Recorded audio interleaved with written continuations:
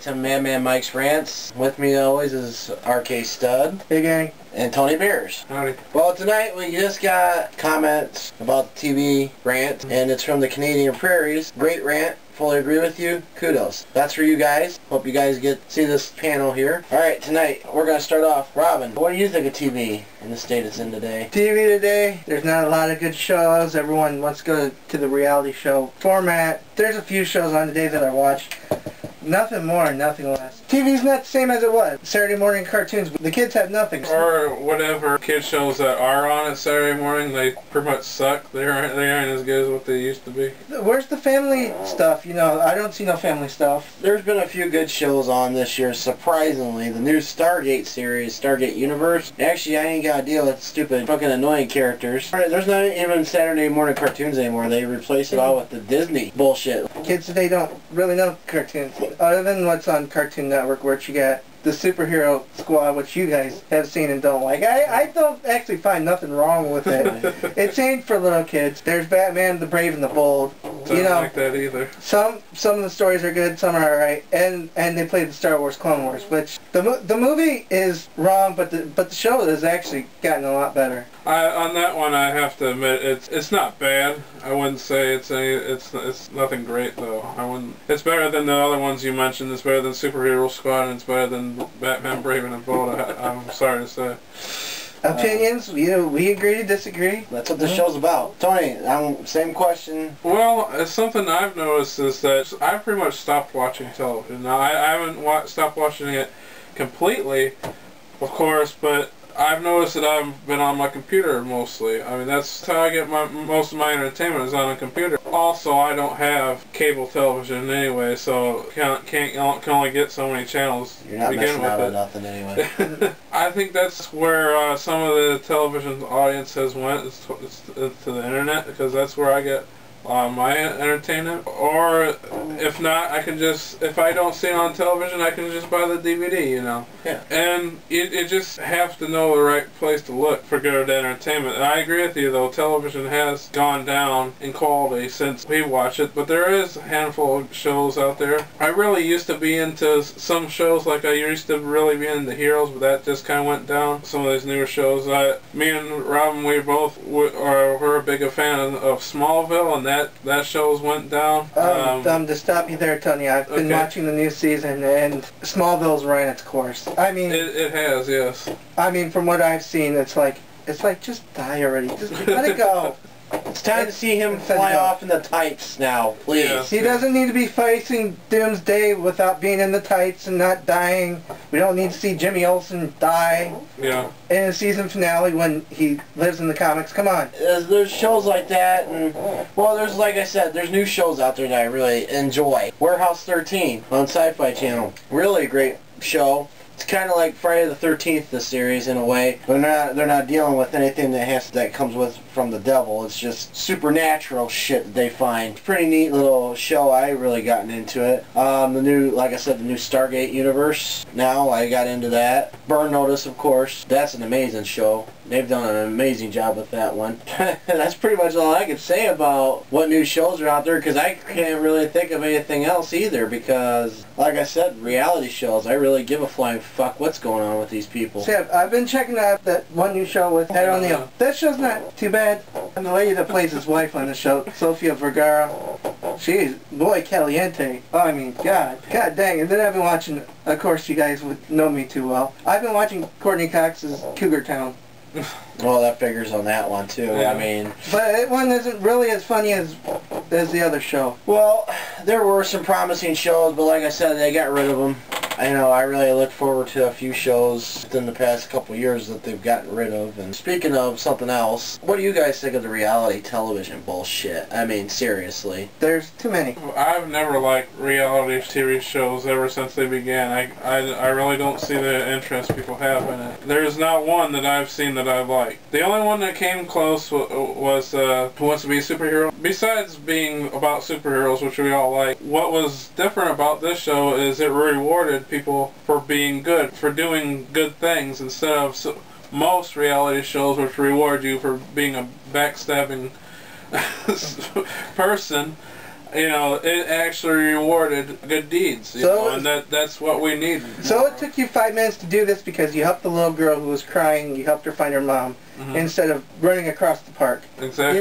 You, you know, yeah, it was off the wall, but it was also. It was a cute little show for what Different. it was. Could you could you guys really call like Ace of Cakes a reality show since it's just people baking really nice cakes? Uh, You can't really call those reality shows because basically they're just basically cooking shows. They just come in, highlight what cakes they're doing that week, and make them and send them off to wherever they need to Just can't believe I missed a fucking Doctor Who episode of that son of a bitch. God damn it! I hate that when I miss shit like that. Yeah, anyway, Chef, Chef Duff makes some really good cakes. Him and his staff. I've got to admit that. I've seen some of that stuff. Like the Kardashians, for Christ's sakes, they don't need No. a reality show. They're just there for their ah, asses. That's it. Oh God, That's- I've never seen such nasty. Uh, I'm not saying that these girls are na- you know nasty people or nothing like that, but from what I've seen of some of these shows, it's stuck up spending lots of fucking money, money that other people don't have. They're lucky to even fucking have. Be a little fucking nice, spread some of that fucking wealth around. Yeah, your daddy was a famous person and shit. I don't. That's We found bullshit. co- we found a vial of coke in the store. I'll bring it to my radio show. She doesn't. She's not fucking fired. Come on. It's all because she's famous. That's all there is to it.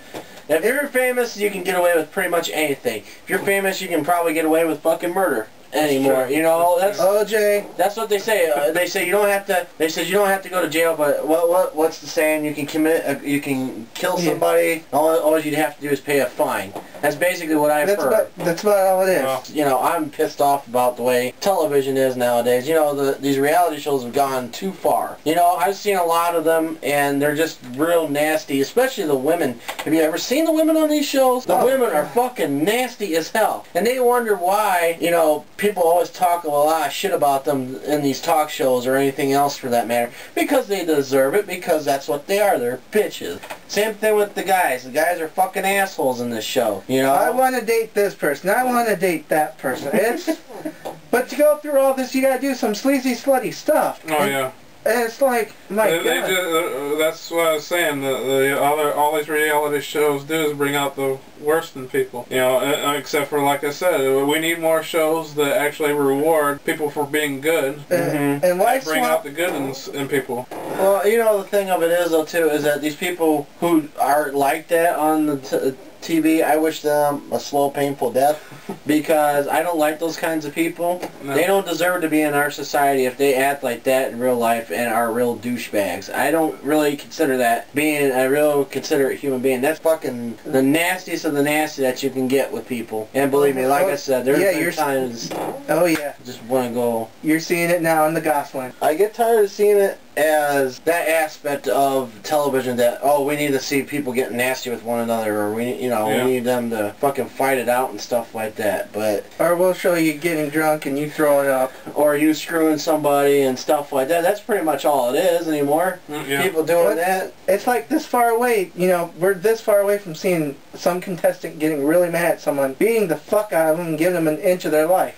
Well, you're Oh, killing them, you know. It's it's it's very close to the point of uh, TV being like movies like The Running Man or um what's slashers Slash slasher Okay. Slashers is one of uh, was basically written by a guy in Japan. He saw some of the reality shows there, reality game shows in Mhm. Japan. He was writing the sh- script at the time. He goes, "What would happen if reality shows took a different t- a turn? What happens if they allowed murder on television? You know, basically people are running for their lives, but at the end of it, there's money involved. hmm You know, and in this movie, that's what happens. They hire these guys who are basically there to kill these people to prevent them from getting this money. Yeah. And then for every serial killer they kill in this game, they get a certain amount of money added to the pot at the end of the game. Mhm. And this, I was like, well, it's getting pretty close to that. As far as I'm concerned, you know, pretty soon we're gonna make murder legal on reality shows, and they're gonna people are gonna get away with it.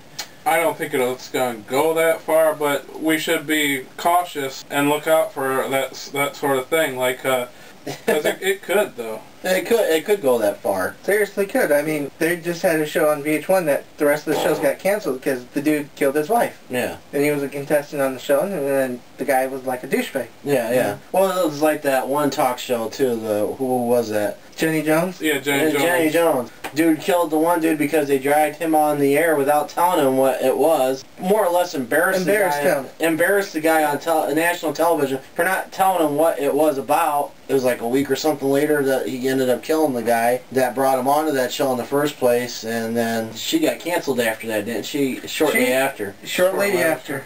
You know what's coming up though here in the next couple of weeks that I'm anxious to actually watch? What? V. Yeah. Oh, please, V.